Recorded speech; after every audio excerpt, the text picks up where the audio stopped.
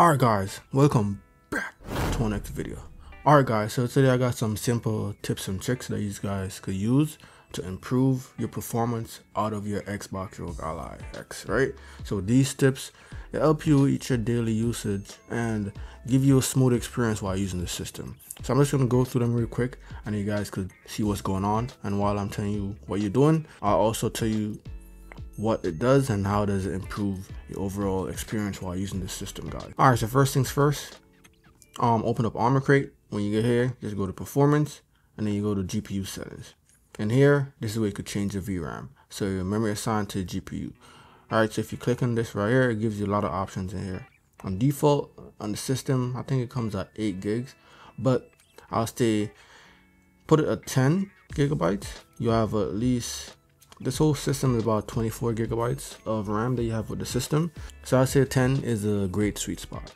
Why? Because it's in the middle and certain games need a lot more RAM to run properly and smoother. So if you're inside a game and you're playing it and you see that it's kind of sluggish, moving slowly, it's not really playing as best as as it should be because you're seeing other people playing and they're getting better experience out of it.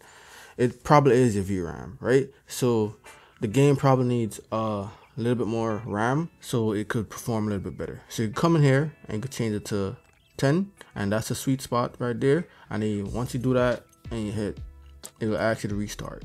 So I'm not gonna do it right now because I don't want to restart my system, but 10 gigs is a sweet spot. 8 is alright, but I'll say put it at 10 just in case depending on what game you're playing guys. Alright, so next since I'm here, you go to performance, then you go to equal assist, and then you will see CPU boost. With CPU boost, I recommend you keeping it off, but it also depends on what you're doing, what game you're playing. If you're playing a lot of emulation games, then I say keep it on because emulation is more CPU based. So I say keep it on because then it push more power towards the CPU, giving you better experience and performance while playing an emulated game, right? But if you're playing a GPU related game, then keep this off because while you have it on, it's pushing more power towards the CPU, but then you're really needed towards your GPU because you're playing a GPU dependent game, if you get what I'm saying. Keep this off depending on what you're doing, guys. Also, it drains your battery, all depending on what you're doing, what game you're playing, as I said before. But most of the time, I have this off because I'm mostly playing GPU dependent game, guys. You could also put it in your quick menu so you don't have to come all the way here open up this right here then you go to Armoury Crate come down here. It should be here right here. You just gotta hit edit. Then you scroll down and then you press add and you look for it in here and you add it to your quick menu you can turn it on and off whenever you want guys. All right this next thing next few things i want to show you guys. You gotta go to desktop mode. So you got the desktop mode real quick. Then once you're here you could search for the amd application so this feature I'm about to show you, this is more about uh, visual fidelity, not really about performance, but this gives you better visual fidelity. Once you're here, you go to settings, come down, I think it's in display right here. Then you scroll down, Vari-Bright will be an optimize right here. Vari-Bright is mostly for your battery, I would say. So when you're unplugged, this activates and it mess with your visual fidelity. So your screen is not gonna look as great as how it should be. It will look weird, guys. And I noticed that when I have it on. So once it's on and you're not plugged in, it'll be uh, optimized. But your battery system lasts a little bit longer because it's doing something to the screen to prevent the battery from draining a lot faster than if it's not on, guys. But it also mess with the screen and how it looks, and I don't like how it looks, so you can turn it off all depends on what you like guys. So if you want to keep it on you want a longer lasting battery if the way how it looks is not really affecting you then you keep it on guys. But i don't really like how it looks and i don't think it drains my battery that crazy you hear me? And most of the time after the time i'm plugged in anyways close to a charger or something like that.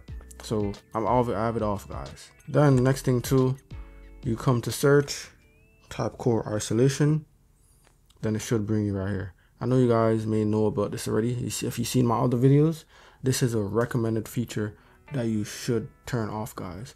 So it's called memory integrity.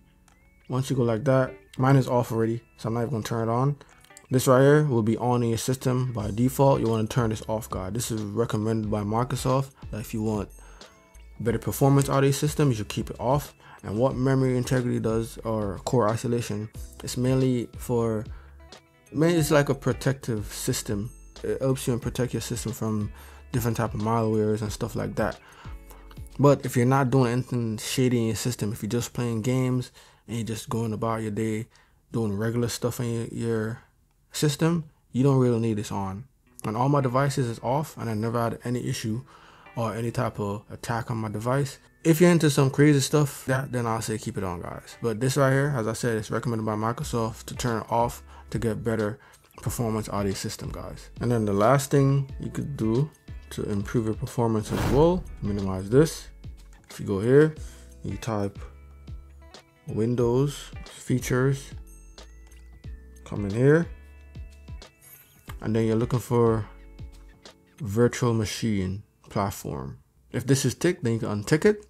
And each of these things that I tell you to turn off or changing system might ask you to get to do a restart but that's basically it, guys. Thanks for tuning in, guys, and hit that like button if you like what I'm posting. Sub to channel for more awesome content, guys. And remember I always say, health is wealth, peace and love. I'm out, guys.